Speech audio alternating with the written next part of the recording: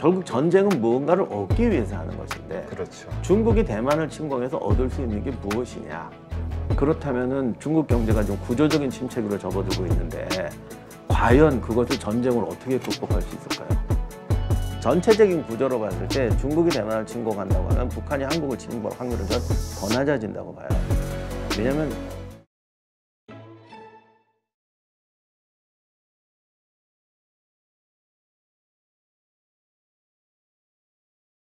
어, 정말 이런 전쟁, 더군다나 우리는 또 6.25라는 또 네. 월남전이라는 어떤 전쟁을 통해서 그 피해자들 혹은 그 참여자들의 그 피해 상황, 그 고통에 대해서 워낙 많이 들었다 보니까 정말 더 이게 감정이입이 되는데 빨리 없어야 되겠죠. 이런 전쟁이.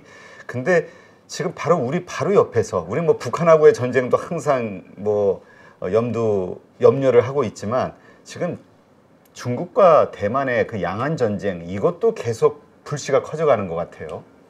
양안 전쟁 문제에 대해서 많은 분들이 이제 걱정하는 것은 우크라이나 전쟁이 나면서 미국 포함해서 모든 서방 세계가 실제로 두 개의 전쟁을 치를 여력이 없다는 게 지금 증명이 됐습니다. 음, 예를 들면 탱크는 있는지 모르겠는데 포탄이 없고 맞아요. 총은 있는데 총알이 없고 이게 미국만 없는 게 아니라 뭐 전 유럽 이제 한국 무기고까지 다 털어갔는데 이런 식으로 되니까 이제 만약에 대만에서 전쟁이 나면은 미군이 지원할 능력이 없지 않느냐 이런 문제도 터지게 되는 거죠. 그래서 중국은 더더욱이 지금 대만에 압박을 하면서 뭐 비행기 날리고 난리를 치고 있는 건데 그런 점에서 보면 전쟁 가능성이 굉장히 높다고 할 수가 있습니다. 네. 그런데 한편으로 보면은 결국 전쟁은 무언가를 얻기 위해서 하는 것인데 그렇죠. 중국이 대만을 침공해서 얻을 수 있는 게 무엇이냐? 음, 대만을 얻지 않느냐? 그럼 대만을 얻어서 무엇을 얻으려고 하느냐라는 겁니다. 근데 대만을 중국이 만약에 점령하게 되면 이거는 우크라이나 문제하고 또 달라서 이 동아, 아, 동남아시아, 한국, 일본 이쪽 라인의 그 석유 수송로나 이런 쪽이 음, 절단 나는 건 아니지만 굉장히 안 좋은 부담을 가지게 되죠. 음, 그렇게 됐을 때에 이게 사실 국제적인 동맹으로 발전하게 되는데 지금까지 동남아 국가들 호주, 뭐이 필리핀, 뭐 미국하고 친한 나라도 있지만 친하지 않은 나라도 있고요. 네. 특히 인도가 페이스 이상하고 그랬는데 만약에 대만을 점령하게 되면 요즘 쿼드 얘기 나오지만 일본과 인도로 이어지는 동맹이 확고해질 거예요. 그리고 지금 중국 기업들이 인도로 많이 도망가고 있는데 인도라는 나라는 지금 앉아서 뭘 많이 지금 벌- 벌고 있어요. 음. 그래서 코드에 되게 어부지리. 예. 그래서 전에는 안 그랬는데 지금 코드에 되게 적극적입니다. 이렇게 되면 중국은 대만을 얻고 강력한 반동맹 세력을 만들어낼 수가 있습니다. 음, 그런데 중국이라는 나라가 옛날처럼 어떤 영, 중국은 늘 하는 말이 이거잖아요. 자기는 땅이 넓어서 그 저기 유럽 제국주의 국가들 같이 우리는 뭐 굳이 뭐 중동을 뭐 차지한다거나 철광 찾아서 아프리카까지 거기 이러진 않아도 된다라는 게 늘 중국이 하는 말이잖아요. 그럼 요즘에 왜 1대1로가 나오냐면은 자본주의가 되니까 시장과 금융 상품 시장과 금융 시장을 열기 위해서 이게 필요한 건데 세상에서 가장 많은 소비를 능- 여력을 가지고 있는 아시아와 서방 세계를 적으로 돌려버리면 그 무엇 때문에 정, 정복을 하겠어요? 음. 그렇기 때문에 사실 대만을 뭐 어떤 분들은 반도체를 얻기 위해서 뭐 이런 말씀하시는데 그러니까 TSMC 그거 얻기 위해서 뭐 그런다는 얘기도 있죠. TSMC가 그럼 뭐 미국 텍사스에 공장 짓겠죠. 거기가 대만 사람들끼리만 모여서 대만 자본으로 움직이는 회사도 아니잖아요. 그리고 지금 TMC가 없어진다고 하면 삼성이 커지거나 뭐 일본이나 뭐 인텔이 인텔이 커지겠죠. 일본도 지금 반도체가 피해를 많이 봐서 그렇지 얼마든지 재기 이렇게 다시 부활할 여력은 충분히 있는 나라이기 때문에 그거 얻기 위해서 시장을 잃어버리면 또 반도체를 얻어서 반도체 팔 상품 시장을 잃어버린다면 무슨 의미가 있겠습니까? 그러니까 중국 입장에서는 대만을 점령해서 얻을 게 별로 없습니다. 뭐 어떤 민족 감정, 우린 하나다 이런 거는 가능할지 몰라도 그게 또 그게 가지는 효과가 그렇게 안 큽니다. 음. 왜냐하면 우리는 작은 나라에서 하나의 국가를 살아왔기 때문에 울릉도나 제주도가 떨어져 나간다고 그래도 정말 살을 내있는 아픔이지만 중국 아시는 분은 아시지만 말도 안 통하잖아요. 음, 그렇죠. 예, 그리고 대만은 원래 중국이 아니었어요. 아 그래요? 네. 대만이 중국이 된 거는 청나라 와서인데 사실 청나라도 대만을 총독부 정도 두고 이렇게 음. 지배했고 그 영토 지배라고 그러나요? 완전한 영토 지배는 못했습니다. 음. 그러니까 사실 대만은 오히려 그 국민당 정권이 망하면서 본토 사람들이 대만으로 가는 바람에 그 사람들이 어, 저기는 우리 땅이야 라는 뭐랄까요 고향 의식이 생긴 거지 대만 원주민이나 원래 거기서 오래 살았던 사람 입장에서는 같은 나라가 아니에요. 오히려 그 대만에 밀려 들어온 중국인들한테 오히려 네. 나라를 뺏긴 그렇죠. 거네요. 네. 뭐 그렇게도 지금 많이 하지 않습니까? 그래서 지금 대만 원주민들 예, 입장에서. 대만 젊은이들은 우리는 본토의 후손은 아니다. 이쪽으로 붙겠다라고 뭐 군대 가기 싫어서 그런다는 말도 있지만 그런 얘기도 많이 합니다. 제가 옛날에 정말 대만 타이베이 갔다 너무 놀랬던 게 우리는 뭐 거리가 을지로 청계천로 그렇잖아요. 거긴 전부 그래요. 우리식으로 말하면 평양로, 의주로, 함흥로 그 좁은 땅에 전 중국이 다 들어와 있더라고요. 아, 자기 그 그리운 그쪽 네. 지형을 다 갖다 놨군요. 그러니까 이게 가만히 보면 중국이 대만을 통합하는 게 아니라 중국으로 가고 싶은 건 대만 사람들의 생각입니다. 근데 사실 그런 분석들도 있더라고요. 어, 중국이 대만을 실제로 침공하기보다는 그러한 분위기를 통해서 어, 친정부, 그러니까 친중 정권을 만들기 위해서 뭐 지금 정부는 너무 말을 안 듣고 반대하고 미국에 달라붙으니까 뭐 그런 목표를 달성할 때까지는 전쟁할 것 같은 분위기를 계속 만들어내지 않겠냐. 그 부분에 대해서 제가 잘 중국 전문가는 아니지만 몇 분들한테 들은 얘기가 있는데 대만 정치도 좀 복잡했지 않습니까? 그 네. 과거 이제 본토 수복 이런 얘기하던 국민당 정권에 많이 실정을 내니까 유화 분위기가 많이 나왔거든요. 그래서 그런 생각 버리고 중국과 친하게 지내자. 그 생각이 방금 말씀하신 대로 중국이 좀 군사적으로 압박했을 때 대만이 야, 전쟁하면 되겠냐. 이 그냥 쟤들하고 사이좋게 지내자라는 여론이 올라갈 거라고 보면 확신이 있는 것 같고요. 그리고 대만에서 징병 기피 이게 굉장히 세졌잖아요. 음, 어, 그러니까 중국 입장에서는 그 부분에 대해서 좀 오판을 한 것 같아요. 그래서 우리가 압박을 하면 얘들이 내려앉을 거다라고 생각을 했는데 지금은 거꾸로 반대 반발 분위기가 음, 나고 오히려 압박을 가하니까. 네, 그랬더니 친중 어, 였던 정권들이 또 아니다라고 그러고 오히려 제가 최근에 들은 얘기는 정말 재미난 얘기를 하나 들었는데 갑자기 이렇게 되니까 우리가 이게 3개월이래요 군복무가. 아, 그밖에 안 한대요. 네, 그래서 뭐 뭐 갑자기 배우나요? 그, 그 3개월 동안? 모르겠습니다. 그러니까 그래가지고 야 이제 이거 안 된다. 우리가 이러니까 이렇게 되는 거다. 그래서 이걸 올리자 해서 갑자기 여론이 막 조성이 되는데 막상 6개월로 올리려고 그랬더니 갑자기 쟤는 3개월 갔다 왔는데 왜 난 6개월 가냐. 그러니까 사람이 정말 그런 거 있잖아요. 법을 고치는 건 찬성하지만 나는 예외다. 음. 뭐 이런 분위기가 떠나서 야, 그 대만이 좀 저기도 좀 위험하긴 위험하구나. 저러니까 중국이 압박을 하고는구나라는 생각은 들었는데 그 마지막 단계까지 넘어가지는 않는 것 같아요. 음. 그러니까 군을 늘리고 징병하는 건 찬성이다. 나는 싫다. 이런 이중적인 마인드기 때문에 딱 그 중국이 원하는 게 안 되는 거죠. 근데 그러한 그 여러 분석들 이러한 것들을 바탕으로 최근에는 조금 더 강한 그 전망들이 나오더라고요. 왜냐면 요새 중국 경제 위기론이 나올 정도로 경제 상황이 안 좋다 보니까 내부의 불만, 뭐 청년 실업률이 사실상 뭐 50% 아니냐 이런 얘기도 있고 그러다 보니까 이 내부의 불만을 외부로 돌리기 위해서라도 정말 대만 침공을 가능한 카드로 만지작거릴 수 있지 않냐에 대한 그 분석들이 나오던데요. 그 부분에 대해서는 제가 조금 정말 좀 자세하게 말씀드리고 싶은데 우리가 흔히 경제가 안 좋거나 어떤 국민이 많이 분열했을 때 여론 통합이나 경제 성장을 해서 전쟁을 일으키는 경우가 있다라고 역사에서 설명을 많이 하지 않습니까? 근데 이게 굉장히 추상적으로 얼버무린 이야기라서 오해를 많이 하시는 것 같아요. 예를 들면 이런 거죠. 우리나라가 철강, 우리나라 어느 나라라고 할까요? 어느 나라가 철강이 한 80%예요. 걸어 먹고 살아요. 그런데 왠지 이제 우리가 경제가 좀 안 좋을 거 이제 좀 하강기에 접어들었습니다. 그런데 국제 원자재 값이 자꾸 뛰어요. 야, 이러다 이제 우리 큰일 나겠구나. 이럴 때 옆에 나라에서 엄청나게 좋은 철광석 광산이 있다거나 아니면 옆에 나라가 요즘에 철강을 막 줘가지고 우리를 잡아먹으려고 한다.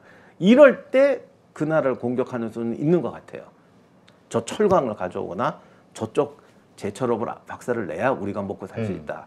이런 경우가 경제가 어려우니까 뭐 친다거나 아니면 국민을 화합시키기 위해서 친다라는 데 통하는 말입니다.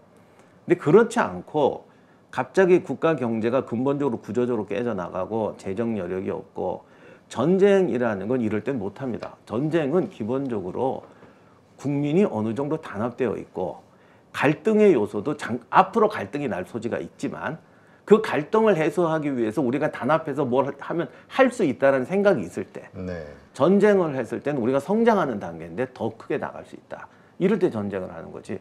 근거가 비었는데 어떻게 전쟁을 합니까? 부유한 나라도 전쟁하다가 경제가 나빠지면 전쟁을 그만둬야 됩니다. 어느 나라나 전쟁을 그만두는 건 경제력이 떨어져야 그만두지 승부욕이 떨어져 그만두는 경우는 없습니다. 음.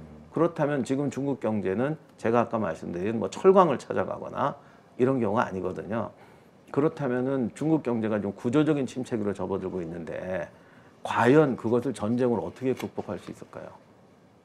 근데 이런 그 전문가분들의 의견도 있더라고요. 전쟁이라는 거는 그 난다 난다 할 때 또 실제로 날 수도 있다. 그런데 지금 보면은 분위기가 어, 9월 달에도 미국, 한국, 일본 등 6개국의 군함이 대만 해협을 통과한 그러니까 무력 시위를 하는 거잖아요.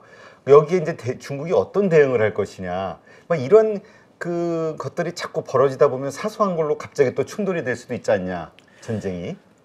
전쟁은 제가 볼 때는 안 난다 안 난다 할 때 저 잘 납니다. 아, 그래요? 이번에 러시아 우크라이나 전쟁도 안 난다 안 난다 했지만 서방이나 나토가 안 난다 안 난다 했던 데는 사실 막을 능력이 없어서 그랬어요. 음. 자기들도 진짜 막상 전쟁 난다 그러면 이 지금 지금 빨려 들어갔기 때문에 그만둘 수 없다는 거지. 그 전에 나토에 군대가 제대로 있기를 합니까? 어, 나토가 나라가 30 몇 개가 넘는 걸로 알고 있는데 네. 그 혼합 병력 때문에 혼합 이런 체제 때문에 그때 조지아나 아르제베니아 사태나 같은 거 났을 때 만약 나토가 어디다가 파병을 한다 그러면 파병할 수 있는 병력이 만 명 단위도 안 됩니다. 그러다 보니 러시아 입장에서는 절대 못 들어올 거라고 생각했던 거예요. 음. 그래서 전쟁은 안 날 때 납니다. 아, 그러니까 안 난다고 할 때, 음. 막을 여력이 없을 때 나는 경우가 더 많습니다. 그 다음에 이제 말씀하신 것처럼 뭐 군대가 막 갑자기 무력 하고 뭐 서로 이러다가 나는 것처럼 보이는 경우는 사실은 이미 전쟁을 일으키려는 의지가 충분하거나 핑계거리를 찾고 있는 네, 중에 그런 거나 아니면 전쟁을 날 수밖에 없는 이유 그러니까 이미 언제 불을 붙이냐의 문제일 뿐이었던 상태인 경우가 더 많습니다. 음, 그렇군요. 지금 어쨌건 그 중국 정부에서는 대만 해협을 뭐 그 사이에 두고 군함이라든가 아니면 뭐 무인기 얼마 전에 뭐 저 대만 군들 우스갯소리 했잖아요. 무인기가 와가지고 아주 돌멩이 던져가지고 그러니까 이런 군사적 도발을 계속 하고 있는데요. 중국은 저희 우리를 한번 생각해 보세요. 우리를 중일 전쟁에 발단이 된 게 일본군 병사 한 명인가 세 명인가 행불된 거 때문에 쳐들어갔거든요. 나중에 보니까 걔들 잡힌 것도 아니고 어디 이탈했던 거라고 밝혀졌습니다. 그러니까 이거는 계기였을 뿐이지 이미 전쟁할 준비가 다 돼 있었어요. 음, 그리고 일본 입장에서는 공격하면 이길 수 있다는 자신감도 확실했고요. 자, 근데 우리 한국을 보시면 요즘은 좀 덜하지만 6, 70년대에 가끔 총격 사건 나고 희생자도 나고 공비 사건도 있었고 한 명이나 세 명 이상 희생당한 사건 훨씬 많았어요. 네, 전쟁 안 났잖아요. 음, 그좀 심한 도발도 있었죠. 얼마 전에 연평도 포격도 음, 있었고. 그렇죠. 아, 그러고 보니 연평도 포격에도 우리 음, 병사들 있지 않습니까? 그렇죠. 전쟁 안 났잖아요. 그래서 전쟁은 그런 우발적인 게 아니라 그 화약이 쌓였을 때 촛불이 불을 내는 음, 거지. 정말 전쟁에 대한 의지가 이렇게 막 불타오르고 있을 때 네, 네.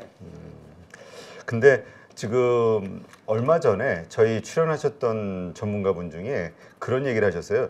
그 중국도 대만을 함부로 못, 공격을 못할 이유 중에 하나. 그 만약에 미사일을 갖다가 막 산샤댐 같은 데다가 집중 포화하면 그거 무너지면 1억 명이 중 수억 명이 뭐 물난리로 죽는다. 뭐 얘기. 그래가지고 그거 보고 악성 댓글들이 많이 올라왔는데 어, 요즘 보니까 중 그 진짜 대만의 전략이 지금 보니까 중국 어, 산샤댐 타격 순항 미사일 부대를 확대 편성한다. 뭐 이런 뉴스들이 나오니까 어 이게 진짜 가능한 전략인가? 이게 전략과 전술에서 제일 골치 아픈 것 중에 하나가 사실 산세댐을 폭격한다거나 이런 거는 전략적 전략적 행동인데 그렇죠. 이 전략적 행동이라는 것은 이제 먼저 공갈포로 먼저 합니다. 공갈포. 그렇죠. 그러니까 고슴도치 전략이라고 그렇죠. 표현하더라고요. 예, 전쟁하기 전에 무슨 짓이나 합니다. 그래서 그 말씀하신 것처럼 그런 꼭 그러니까 자꾸 그런 것들이 세지고 세지다가 전쟁이 나는 것처럼 자꾸 보이게 되는데 음. 항상 근본적인 촛불이 우리가 왜 촛불 하나가 뭐 어마어마한 걸 태운다고 그러잖아요. 근데 촛불이 넘어진다고 다 그렇게 어마어마하게 태우는 게 아니라 어마어마한 대에 촛불이 넘어져야 어마어마한 사건이 나는 거예요. 그래서 어, 제가 봤을 때 지금 중국은 정말 대만하고 전쟁을 일으킬 의지는 없다고 보고 우크라이나 전쟁을 보고 어, 미국이 전쟁 여력이 없다라는 것은 전쟁을 도발할 수 있는 중요한 요인 중에 하나지만 우크라이나에서 러시아가 고전하는 것을 자체를 보면 중국군이 감히 전쟁을 일으키지 못하는 요인도 되는데 둘 중에서 제가 볼 때는 전쟁을 일으키지 못할 확률이 더 높다고 봐요. 음. 어, 그리고 러시아 같은 경우도 러시아라고 푸틴에게 이번 전쟁 하면 이렇게 된다고 예견하는 사람이 없었을까요? 아마 훨씬 많았을 겁니다. 음. 그런데 우리가 어떤 1인이 뭔가를 할 수 있는 부분이요. 권력 구조에서 1인의 의지가 뭔가를 할 수 있는 부분에서 중국의 지금 시진핑 주석이 굉장히 센 것 같지만 그 할 수 있는 것과 할 수 없는 것이 있는데 중국은 지방 경제라든가 지방의 어떤 자- 단위 부분이 굉장히 강해서 전쟁을 일으키고 하는 부분에서는 푸틴만큼 강한 결정력을 행사할 수는 없다고 생각합니다. 하긴 요새 중국 경제가 위기에 빠져 있는 상황에서 중국 정부가 이렇게 결정을 하고 막 뭔가 이렇게 정책을 만들어도 지방 정부가 그걸 수행할 그 여력이 없거나 아니면 이게 잘 안 된다. 뭐 그래서 참 네. 쉽지가 않다 이런 얘기를 하긴 네, 하더라고요. 그러니까 그런 부분에서는 러시아보다 중국의 안전장치가 저항장치라고 해야 되나요? 음. 안전장치라고 해야 되나요? 그런 부분이 굉장히 강해요. 사실 중국하고 러시아는 국가 체제가 굉장히 다르기 때문에 그 부분을 우리가 인식을 해야 합니다. 네. 아, 근데 최근에 이게 상당히 분위기가 안 좋긴 안 좋은가 봐요. 이런 관련된 뉴스들이 나오는 거는 그런 분위기가 만들어질 때잖아요. 29일 날 그 대만 언론에서 최대 사거리 1200km의 슝퐁 미사일 개량형 이게 그 거기를 공격할 수 있는 산샤를 운용하는 부대가 최소 세개에 이른다. 그래서 여차하면 유사시에는 산샤댐을 타격할 것이다. 근데 지금 야, 이게 그, 진짜 그 지금 왜 러시아가 크림반도 네. 거기가 다리 두 개만 끊으면 특히 K 한 대교인가 그거 끊으면 치명적인 이제 보급 손실이 오는데 뭐 무슨 미사일 타우루스도 주고 뭐도 주고 했는데 왜 다리 못 끊냐 이런 말 하잖아요. 나 이제 핵폭탄을 떨어뜨리기 전에 댐이나 다리 폭파하는 게 쉬운 게 아니에요. 음, 일단 타우루스 같은 걸 쐈다고 쳤을 때 그럼 러시아가 무슨 아프리카 옛날 창 들고 있던 나라도 아니고 오는 거 80%는 요격한단 말입니다. 방어 네. 미사일. 그럼 한두 개가 타격을 하는데 내가 이말 했으니까 지금 우크라이나가 뭐 요즘 수중 드론 하는 거 보니까 지금 그걸 노리는 것 같은데 다리를 폭격할 때 상판을 공격해서는 다리가 안 무너져요. 음, 기둥을 네, 몇 그냥 며칠 저 마비시키는 수준이거든요. 정말 때리려면 교각을 때려야 되는데 음, 뭐 미국이 그런 거 있는지 는 모르겠지만 얘들이 날아가서 교각을 맞추는 식으로는 잘 못합니다. 그러니까 상판을 때리고 있잖아요. 근데 그래갖고 구멍 두 개밖에 못 뚫거든요. 근데 교각을 부수는 건 정말 쉬운 게 아니에요. 그렇죠.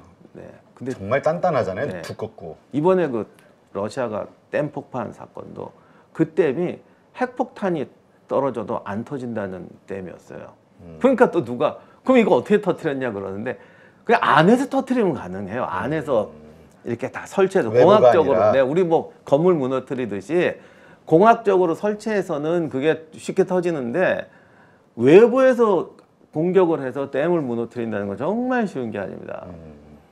그 그런 의견도 있더라고요. 그리고 그게 전략적으로 과연 선택할 수 있는 방법일까? 왜냐하면 전쟁 끝나고도 그건 전범으로 처리될 수 있는. 왜냐면 민간인 사상자가 너무 나니까. 네, 그래서 그런 것은 지금 다 이제 그렇게 되면 나도 전범이 되지만 당신도 큰일 난다라는 거잖아요. 이런 이게 이게 전쟁 전에 나오는 주로 어, 그걸 공갈포라고 했거든요. 현실적인 공갈포들인데 실전에서는 그렇게 반영되지 않고 그런 것들이 전쟁을 억제하지는 않습니다. 음, 그래도 좀 중국 입장에서 찜찜하긴 할 것 같아요. 제가 볼 때는 그냥 국민 여론형인 것 같아요. 여론형? 네. 음. 근데 그건 좀 중요한 게요.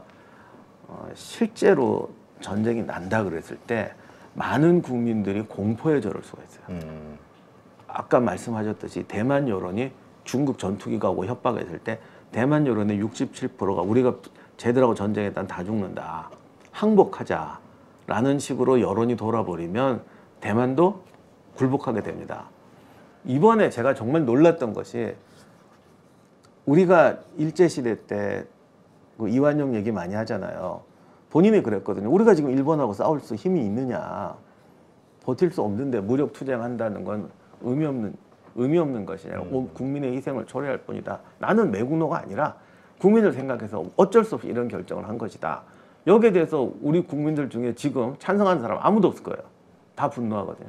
근데 조선 시대로 돌아가면 그때 현장에 있던 분들은 거기에 대놓고 말은 안 해도 그런 이야기에 넘어갔을 사람도 굉장히 많죠.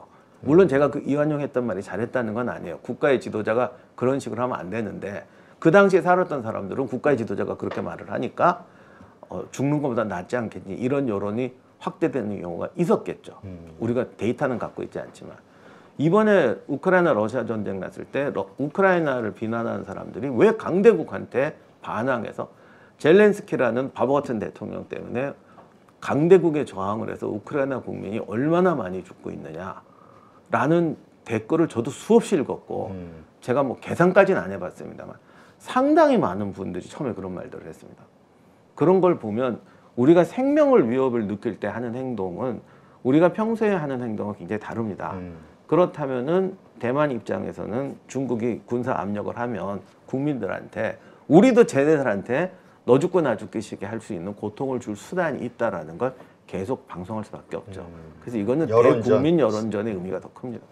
근데 이게 가만히 그 강 건너 불구경할 수 없는 게 미국의 싱크탱크에서 중국이 그런 일이 만약에 벌어지게 되면 하, 저 북한도 동시에 한국을 침공할 수 있다. 뭐 이런 또 보고서들이 나오면서 아 진짜 어, 한국에 있는 미군들을 이쪽으로 투입을 못 시키도록 전선을 분리하는 중국이 만약에 그런 의도가 있다면 북한을 함께 뭔가 전쟁을 일으킬 수도 있겠다. 이런 또 합리적인 논리적인 생각이라고 생각하는 사람들도 또 있더라고요.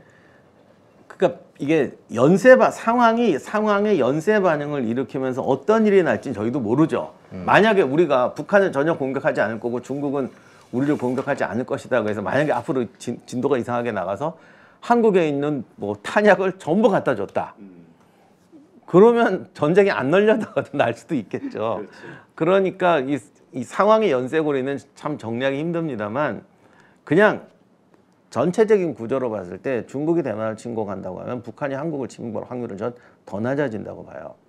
왜냐하면 우리나라 지금 비축탄이 300만 발인데요. 포탄 155mm 포탄의 경우에 300만 발인데 우크라이나에서 지금 한 달에 20만 발을 쓰거든요. 아 그래요? 네. 그러면 근데 우리나라 지금 뭐 지금 가지고 있는 수량이라든가 군대로 봐서는 한 달이면 동날 거라는 얘기들을 많이 해요.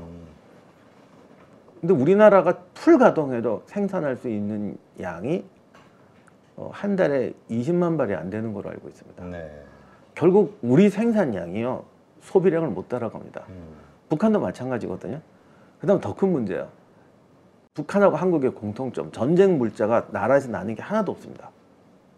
예를 들면 포탄 만든 총탄 만드는데 가장 중요한 게 구리입니다.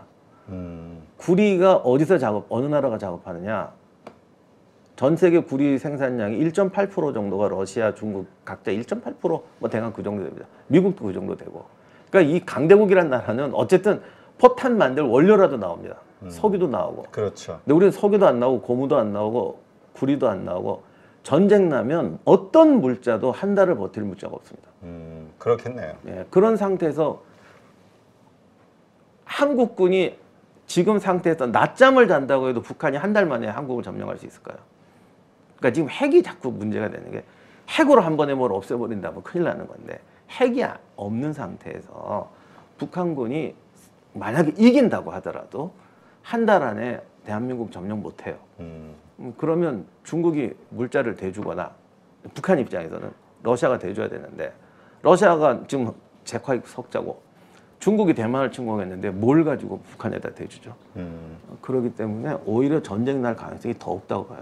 저는. 네, 알겠습니다. 하여튼 이런 그 논란이 있는 이런 이슈들에 대해서 그 다양한 그 전문가분들의 의견을 들어보면 이렇게 의견들이 좀 이렇게 집중되는 부분들이 좀 있는 것 같습니다. 네, 근데 중요한 거는 그러니까 전쟁 안 난다라고 하는 게 전쟁을 유발하는 가장 중요한 이유이기 때문에 그러니까 계속 눈치는 봐야 된다. 우리가 아무리 이게 합리적으로 생각한다고 해도 전쟁은 항상 사실은 나지 않을 가능성을 찾는 게 아니라 날 가능성을 찾아서 대비하는 게 정상적인 겁니다. 제가 지금 그냥 분석을 하다 보니까 이렇게 말씀드리는 거지.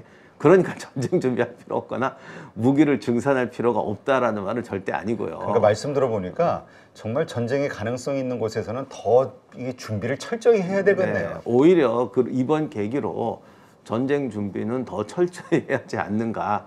제 결론은 이겁니다. 절대로 북한이 우리를 침략할 거고 중국 전쟁 안 나니까 뭐 지금 국방부에서 세우는 우리도 지금 그런 게 세우고 있거든요. 포탄도 늘 생산량 늘리자. 아 이런 거 안 해도 됩니다. 이런 뜻 절대 아닙니다. 이번 기회에 우리가 국방비라는 건 사실 순소비잖아요. 음.